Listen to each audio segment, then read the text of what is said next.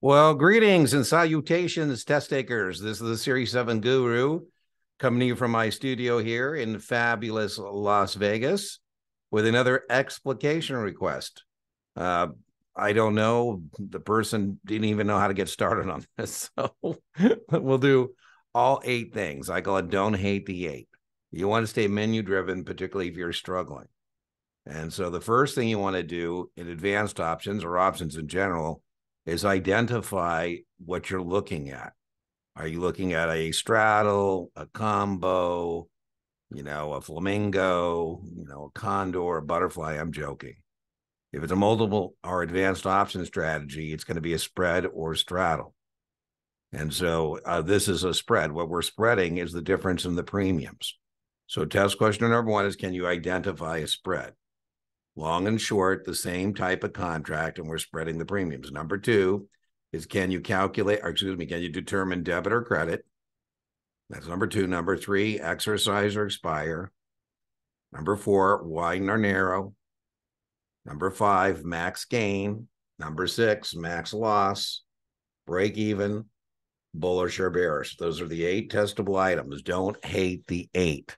Now, one thing I would recommend, I'm going to run you through all the things on this spread for this test taker, all of the eight potential test questions uh, from the position. As I said, the first thing is can you identify?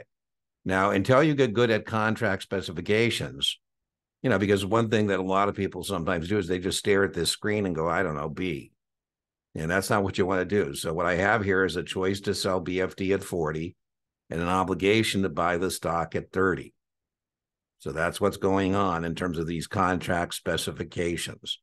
All right, the next thing I want to be able to do is determine debit or credit because if I get that, I can rock and roll. If I get debit, debit exercise widen, DEW, Mountain Dew, just do the do. You know, if you're wide like Dean, you need to exercise so we can really rock and roll. If we get credit, we go credit expire narrow, we're going to be in pretty good shape. Uh, we should know that if we paid for an option position, if we buy a call or buy a put or buy a straddle or buy a spread, the worst case is we lose our money. And we should know that if we sell a call, sell a put, sell a straddle, sell a spread, the worst, uh, best case is we keep it. Right? Those are some common themes. All right. So the first thing we're going to do, next thing we're going to do is number two, determine debit or credit. And the way we're going to do that is we're going to net the premiums. And so we have more money out than in here. So this is a debit spread because we have more money out than in. As I mentioned, once you get that, you can rock and roll because debit, exercise, widen go together all the time. If this spread gets exercised, I'd be buying the stock at 30. Somebody's going to stick it to me at 30, and then I'm going to stick it to the next guy at 40. That's pleasurable. That's profitable. Don't be thinking about it until you get the menu done. The hardest part to get is this idea of the premiums getting larger or smaller. You know, what widen means is I go to offset these transactions, right? I offset this thing. I need to be, a, be able to come up with more than 4.4, uh, right? Points. I need, you know, 7.4. I'd make three points. Hardest part to get, don't need to get it because debit exercise widen goes together all the time. So we've done four of the eight. Don't hate the eight, eight test questions. We've identified this as a spread, long and short, same type of contract. So it's a put spread or call spread. There's a put spread. Secondly, we've determined it's a debit. We've determined that we want the contracts to be exercised at expiration. We want the difference in the premiums to widen. So the next thing we got to do is max gain max loss. So kind of a trick. The whole point of a spread is I'm saying that I want to play between 40 and 30 and I don't want to play anymore. You know, I think of it as a floor and a ceiling. You know, there's a ceiling at 40, 40 or higher, the puts expire.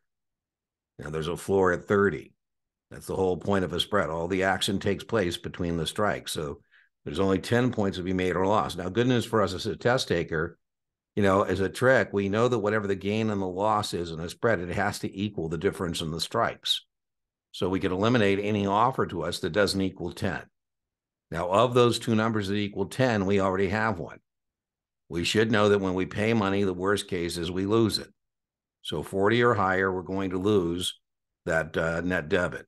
Now, again, if you don't get this idea, then you got to memorize that the maximum gain in a debit spread is the difference in the strikes less than net debit. I just think that's a mental mess.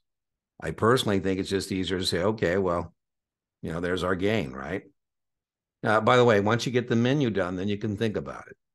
If somebody sticks it to me at 30 and I stick it to the next guy at 40, I'm to put E at 30, to put ER at 40, I make 10. Less the 4.4 means I make 5.6. Okay, the next thing we got to do is the uh, break even. And the break even, we have a nice mnemonic device for that push, push mnemonic memory aid device that stands for put subtract from the higher. So in a put spread, the way we get to break even is we're going to take the higher strike. We're going to minus the net premium. Doesn't matter whether that net is a debit or a credit, doesn't matter.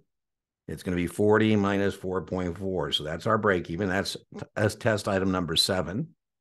And then the last thing we got to do is determine bullish or bearish.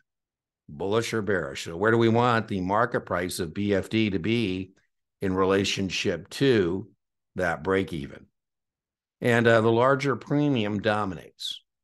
So if I'm trying to figure out what's going on, it's always going to be the option leg. The leg is not testable. That's what's the term for that. The dominant leg is always going to be the one with the greater premium.